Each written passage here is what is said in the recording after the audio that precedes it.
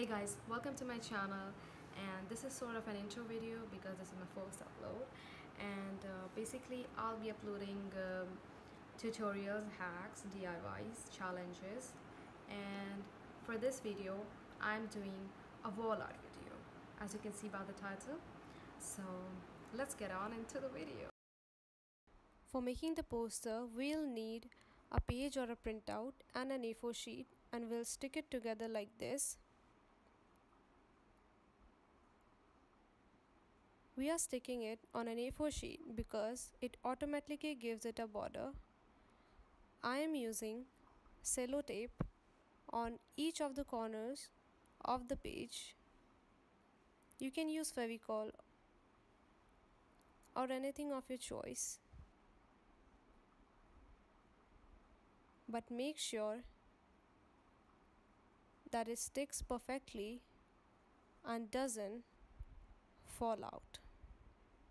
After that, draw the letter of your name.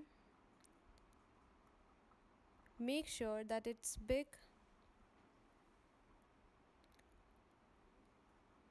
because you will be sticking it on a wall and it should be visible.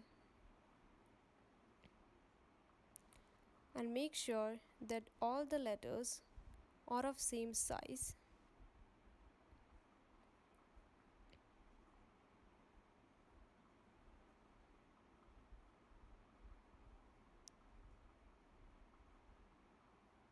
Feel free to make the changes according to your will.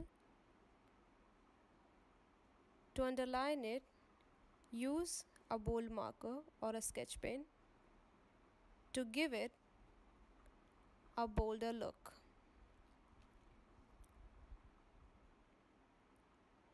Choose the pattern of your choice and color it with the darker shade. I choose the drip and do it for the other letters. After that, rearrange it according to your choice. This is how it looks and this is the final look. Oh my god, like literally. Oh my god. Because the efforts that I've put in and the results that I've got, I'm totally happy and super satisfied.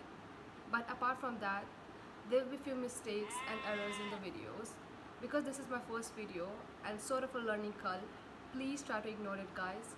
And if you have any suggestions comment down below. And if you like this video smash a huge thumbs up and subscribe to my channel and hit the bell notification button for every time I post you'll get to know first. And I'll see you in the next video. Bye